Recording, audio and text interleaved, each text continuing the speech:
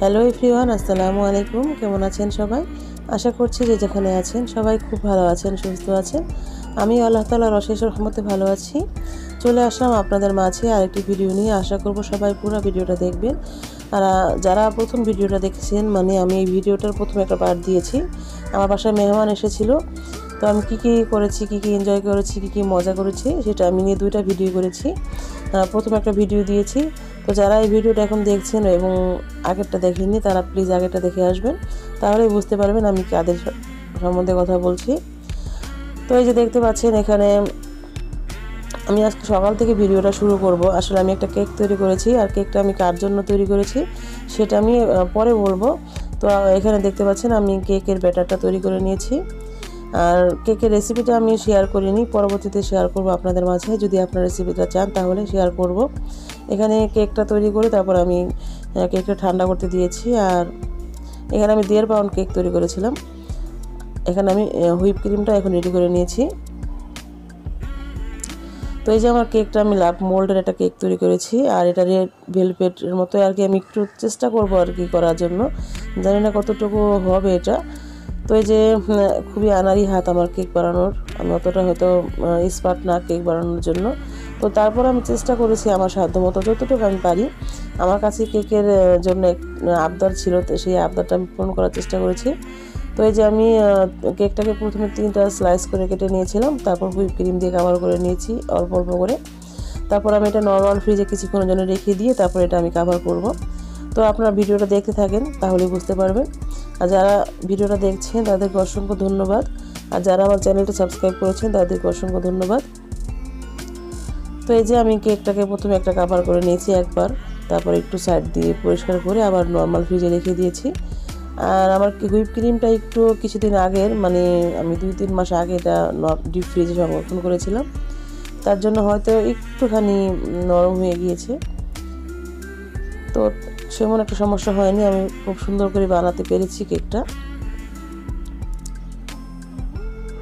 এখন আমি এটার মধ্যে রেড কালার দিয়েছি ক্রিমের মধ্যে, তারপর এটা আমি গ্লাসের মধ্যে রেখে নজেলটা তারপর আমি ক্রিমগুলো নিয়ে নিচ্ছি।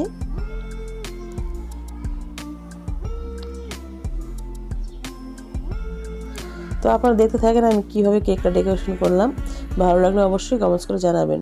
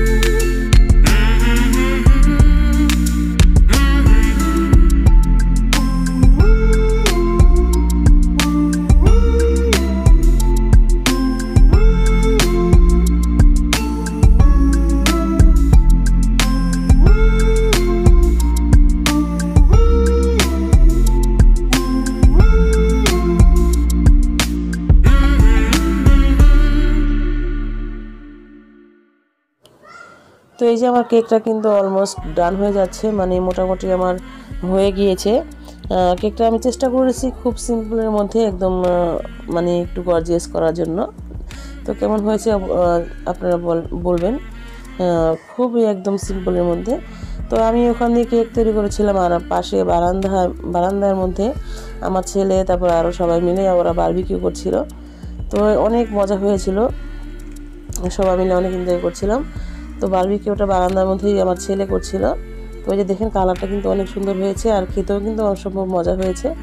আসলে এটা হচ্ছে বাচ্চাদের একটা আনন্দ। সবাই মিলে আনন্দ করলে অনেক ভালো লাগে। তো এখন বলছি আপনাদেরকে কেকটা আমি কার জন্য তৈরি করেছি? কেকটা আমি তৈরি করেছি এমন আমার ভাগ্নির মেয়ে মানে আমার নাতি হয় হ্যাঁ। তো তার জন্য ও একটা আবদার ছিল আমার কাছে কেক বানানোর জন্য, ওর জন্মদিন করার জন্য। আসলে কিন্তু ওর জন্মদিন না কিন্তু তারপরও মানে সবাই মিলে কেক কেটে ভাবলাম কেক যখন বানানোই হয়েছে, সান্ত্বনা দিয়ে হলেও ওর একটা জন্মদিন পালন করি সবাই মিলে। এই যে দেখতে পাচ্ছেন ছোট্ট মেয়ে ফুল মাথায়। তো অনেক কিউট বাচ্চাটা। তো ও আমাকে নানু নানু বলে ডাকে। আমি হচ্ছি ওর মানে মামি নানু বলা বলা যায় আর কি। মানে আমার ননাসের মেয়ের মেয়ে আর কি এটা, ভাগ্নির মেয়ে। তো এই যে এখন আমরা সবাই মিলে বসে আছি, কেক বানিয়ে বারবিকিউ নান রুটি তৈরি করেছি, কাবাব তারপরে সবজি, এগুলো এখন সবাই নিয়ে তারপর সুন্দর করে বসে আছি। কেকটা তৈরি মানে এখন কাটবো।